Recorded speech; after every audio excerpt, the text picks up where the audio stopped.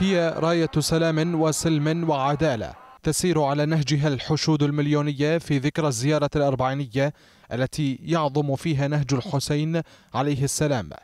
وهذا نهج يرجوه العراقي اليوم بالسير على خطى الإصلاح ومحاربة الفساد. رئيس الجمهورية برهم صالح يعزز المسار الذي يسير على درب الحسين منهجا للإصلاح ليستقي العراق من ثورة الحسين الإصلاح والنصر على الظلم والطغيان.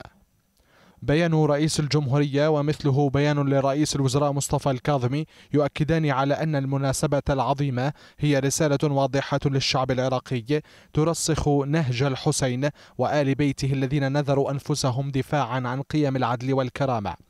وهو الذي يجب أن يكون كخريطة طريق يسير عليه العراقيون مثالا للتضحية والوفاء. الرئيسان قدما التعازي بمناسبة ذكرى أربعينية الإمام الحسين عليه السلام وآل بيته وصحبه الذين استشهدوا في واقعة الطف الأليمة. الرئاسات الثلاث وكافة القيادات السياسية والدينية في العراق الجميع على خط ثابت في تثمين معيار المناسبة الدينية العظيمة. فيما يقف الشارع العراقي اليوم على أعتاب قرب استحقاق دستوري ومواجهة مع ظلام الفساد الذي لابد له أن ينتهي. في زمن بات البلاد فيه أحوج ما تكون إلى عدل واستقرار كرسه الأولون. أثمن ميراث في زمن تركات ثقيلة جعلت من العراق وشعبه في ظروف قسمت ظهر السيادة والسياسة والاقتصاد.